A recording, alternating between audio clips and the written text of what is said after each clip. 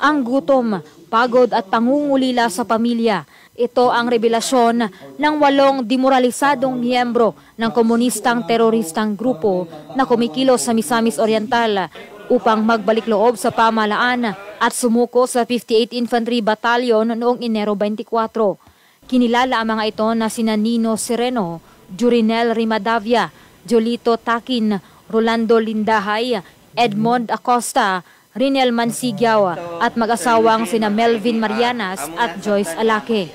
Ayon sa kanila, inabandona nila ang teroristang organisasyon dahil sa takot sa kanilang buhay, bunsod ng walang humpay na focus military operations na nagresulta sa pagkamatay ng kanilang mga dating lider at mga kasamahan nito, kasama ang matinding pagod at gutom dahil sa kawalan ng suporta mula sa mga mamamayan na dating pinagkukunan nila ng pagkain at iba pang supply. Pagod na rin anya sila sa kakatago mula sa walang tigil na paghabol ng mga kasundaluhan. Nakauna na ako sa pag-surrender, ma'am. Kaya tungod kaya nakita man po na ako ang pagtabang sa 58 ID, ma'am, na taghan. Nakita po na ako nga ginatabangan ng pamilya. Labi na ako ang pamilya. Dakong bakak ang ilahang, dakong bakak ang istorya sa NP nga wala tabangi ang among pamilya sa gobyerno. Pero pagabot ng order na ng sayron ma'am. Nga dako dayang ilahang pagtabang. Munawa na ko naka duha-duha sa pagdesisyon nga mobalik sa bakan sa gobyerno.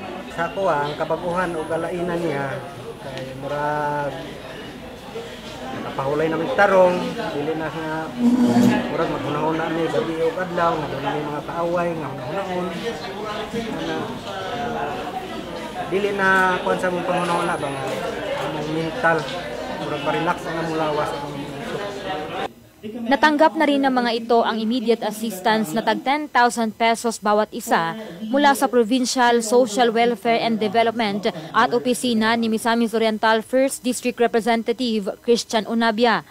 Samantala, sinabi ni Lieutenant Colonel Christian Uy, commanding officer ng 58 IB, na ang pagsuko ng mga naturang CNT ay resulta ng magandang ugnayan ng kasundaluhan sa mga komunidad at sa iba pang ahensya ng pamalaan na kabilang sa Task Force LCAC upang tuluyang tuldukan ang local communist armed conflict. Unang isa nato sa NTF-LCAC na undiin ang convergence good sa military and the other government agencies mas paspas na.